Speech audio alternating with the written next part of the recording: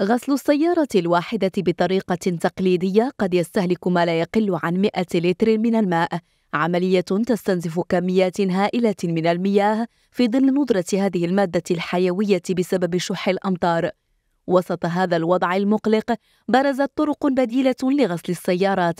باستعمال مواد تنظيف صديقة للبيئة تساهم هذه المشاريع المبتكرة في الحفاظ على المياه.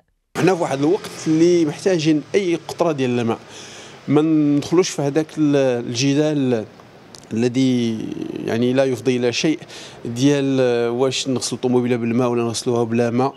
هاد آه هاد هاد الجدال هذا يمكن كان خصنا نديروا هذه واحد 15 ولا 20 عام. في هذا الوقت الراهن يعني خصنا نعرفوا بان وتيقنوا يقينا بأن راه غسل السيارة بدون الماء هو الوسيلة الوحيدة للحفاظ على الماء في هذا القطاع هذا.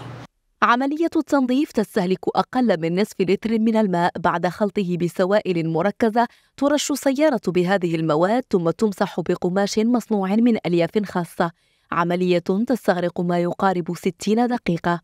تنظن أن واخا ما تغسلش السيارة يعني بطريقة متداولة كل أسبوع ولا كل ربع أيام ولا كل خمس أيام إلا كنا نقدروا أننا نستغلوا الوجود ديال هذه التقنيات ديال الغسل باستهلاك أقل من الماء أو بدون استغلال استهلاك الماء تنظن أنه يكون نتيجة آه، صالحة للجميع.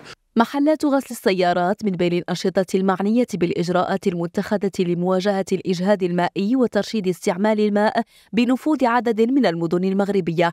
قرار تم اتخاذه بهدف التدبير الأمثل للماء لضمان تزويد المواطنين بالماء الشروب في ظروف عادية.